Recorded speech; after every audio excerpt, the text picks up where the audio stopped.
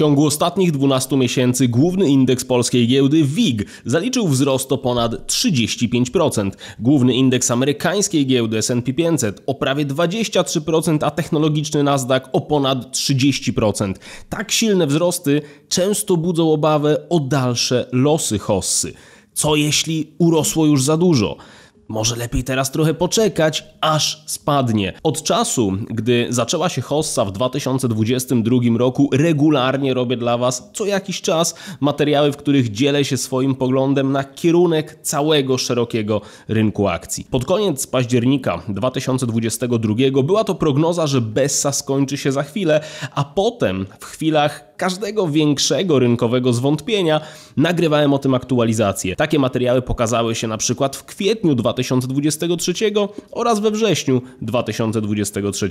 Przez cały ten czas rynki z pewnymi korektami znajdują się w zasadzie w nieprzerwanym trendzie wzrostowym. Może więc to jest dobry czas, żeby odejść na chwilę na bok. Czy hossa może jednak trwać dalej? O tym dokładnie będzie w tym materiale.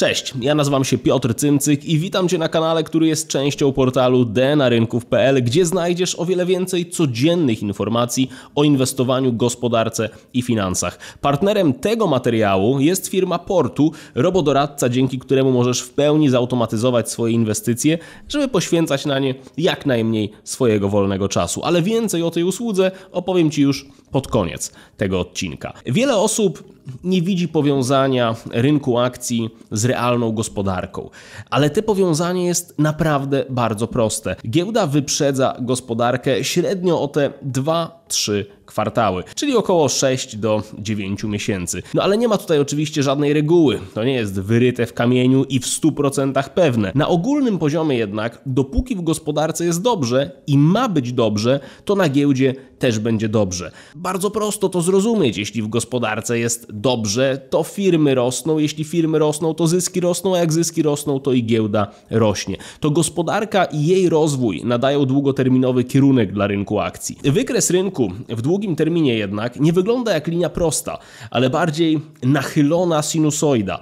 W krótkim terminie przesadne odchylenia w dół i przesadne odchylenia w górę potrafią zależeć od naprawdę przeróżnych powodów. I kluczowe w ich interpretacji pozostaje to, czy dane wychylenie to zmiana trendu w bezse, czy może przejście w bańkę spekulacyjną, a może po prostu naturalne wahanie. Przez cały 2023 rok gospodarki były trzymane przez sektor usługowy. Przemysł faktycznie nie domagał w zasadzie w całej Europie i zapewne to jego kondycja mocno wpływała na to, co ludzie myśleli o gospodarce i w konsekwencji o giełdzie. Tylko, że Współczesne gospodarki nie są już oparte na przemyśle, co podkreślałem naprawdę wielokrotnie. Przemysł jest miłym dodatkiem, który podkręca wzrost gospodarczy, ale gospodarki oparte są w większości na usługach, zwłaszcza gospodarki zachodnie. Z kolei teraz w maju 2024 można powiedzieć, że także przemysł wychodzi z dołka i powinien dodatnio dokładać się do wzrostu gospodarczego. Widać to po szybkim spojrzeniu na globalny odczyt indeksu PMI właśnie dla przemysłu i co do zasady, gdy jest on powyżej 50 to dobrze, a jak poniżej to niedobrze, ale liczy się też sam trend. Ten jest jednoznacznie pozytywny od początku 2024 roku. Jednocześnie sektory usługowe faktycznie nie rozwijają się już tak szybko jak dotychczas, co przez niektórych jest dziś odbierane jako oznaka spowolnienia, ale dla mnie to po prostu oznaka normalizacji. Innymi słowy, na takim klasycznym cyklu koniunkturalnym bylibyśmy wówczas y, już po tej dynamicznej zawrotce w górę, gdzie kąt nachylenia jest największy, no ale co by to oznaczało? Dokładnie to, co od jakiegoś czasu powtarzam. Dobry moment na kupowanie akcji dalej trwa, ale trzeba liczyć się z tym, że ten najlepszy moment już minął. Indeks WIG nie zrobi kolejnych 35% w kolejne 12 miesięcy. Powoli zaczynamy, przynajmniej według mnie, znajdować się w tej nudnej fazie hossy, jeśli można hossę nazwać nudną. A można, jak najbardziej. Potwierdzają to zresztą też kolejne odczyty naszego własnego wskaźnika koniunktury DNA dla polskiej gospodarki, który niezmiennie od miesięcy kręci się w ćwiartce wskazującej na ożywienie gospodarcze. Interpretacja tego wskaźnika jest cały czas taka sama i niezmiennie prosta. Jeśli odczyty znajdują się w ćwiartkach wskazujących na boom lub spowolnienie, to można inwestować w akcje. Można ale jeśli są w ćwiartkach wskazujących na recesję lub ożywienie, to trzeba inwestować w akcje. Skuteczność tego wskaźnika wielokrotnie już była przez nas potwierdzana i pokazywana. Wybrane z tych trafnych prognoz możesz teraz chociażby zobaczyć na tym wykresie z datami, kiedy akurat yy, i co mówił wskaźnik. No dobra, ale Piotr. Piotr. Jak mam inwestować, skoro indeksy są na szczytach? Pewnie niektórzy o to zapytają. Normalnie. Zdradzę Ci pewien sekret. Gdyby codziennie indeks rósł o 0,1%, to codziennie byłby na nowym szczycie. W 2013 roku S&P 500 zrobił 45 szczytów, po czym w 2014 zrobił kolejne 53 szczyty. No i co? I nic. W 2021 zrobił nawet 70 nowych szczytów. I co? I nic. W 2024 jak na razie zrobił 22 nowe szczyty i być może zrobi kolejne 22, a być może zrobi jeden, a być może kolejny szczyt będzie dopiero w styczniu 2025. Nikt tego nie wie, ale sam fakt, że indeks jest na szczycie nie jest żadnym wyznacznikiem do tego, żeby w niego nie inwestować. Czekanie to najgorsza z możliwych strategii, najgorsza z możliwych strategii. Ale Piotr, Piotr. Jak mam inwestować, skoro dalej nie wiadomo, co z tymi stopami procentowymi? Przecież one tak machają tym rynkiem. Niedawno miały ostro spadać, teraz znów oczekuje się, że będzie tylko jedna mała obniżka stóp w Stanach Zjednoczonych. To prawda i jednocześnie nie ma to żadnego znaczenia. What? Wiem, że w internecie znajdziesz sporo różnych wykresów, jak to rynek wali się, gdy Fed zaczyna obniżać stopy procentowe, ale nie ma w tym prawdy.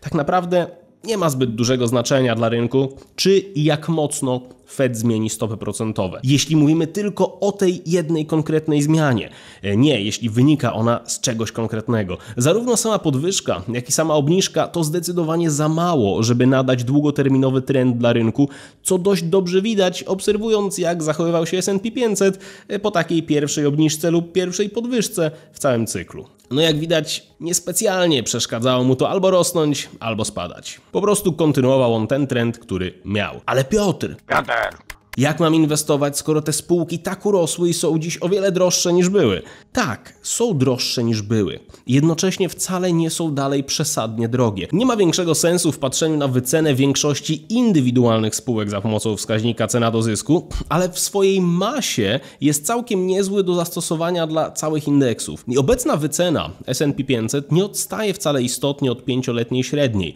Na pewno daleko jej do 2021 roku, kiedy potencjalne przewartościowanie było nawet większe, bo i przecież średnia była dużo niższa. Giełda to gospodarka, a gospodarka to działające firmy. Te same firmy raportują podczas trwającego obecnie sezonu wynikowego naprawdę niezłe liczby. Przynajmniej robią to na razie, w momencie, w którym to nagrywam, ale ten sezon wynikowy już trochę trwa. Odsetek spółek z indeksu S&P 500, które spodziewają się lepszych zysków na kolejne 12 miesięcy, konsekwentnie od pół roku rośnie i wynosi dziś ponad 70%. No tak nie wyglądają rewizje oczekiwań spółek przy zbliżającym się kryzysie i wielkiej katastrofie. Od 31 marca, w zaledwie miesiąc, oczekiwania wobec wzrostu zysków dla różnych sektorów spółek wchodzących w skład indeksu S&P 500 na cały 2024 rok w większości istotnie wzrosły. 31 marca, gdy nie były jeszcze znane pierwsze wyniki spółek za pierwszy kwartał 2024, oczekiwano na przykład, że wzrost zysków dla sektorów powiązanych z technologią będzie wynosił około 18%. Dziś oczekiwania mówią o nawet 20% wzrostu w całym roku. Jedynym sektorem, wobec którego oczekiwania istotnie spadły po pierwszych wynikach, jest segment ochrony zdrowia. No ale nie oszukujmy się, to technologia rządzi głównym kierunkiem indeksu S&P 500, a nie sektor ochrony zdrowia. Jeśli nawet porównamy sobie cały szereg istotnych wskaźników wyprzedzających, które prognozują sytuację w gospodarce, to zobaczymy, że praktycznie większość z nich wykazuje dziś lepszą tendencję niż kilka kwartałów temu. Zyski spółek są lepsze. E, Wskaźniki wyprzedzające koniunkturę też są lepsze. Warunki kredytowe też są lepsze. Najszybsza faza rynkowego odbicia minęła i nie ma co do tego żadnej wątpliwości. Do kolejnej, tak szybkiej, potrzeba by albo kolejnego krachu, albo bessy, albo niebywale dynamicznego wzrostu produktywności. Szansa na każde z tych wydarzeń jest dziś naprawdę niewielka. Gospodarki dalej mają się dobrze, a konsolidacja rynków przy poziomach bliskich ostatnich szczytów zdecydowanie nie powinna przekładać się na już panujący obecnie na rynkach strach.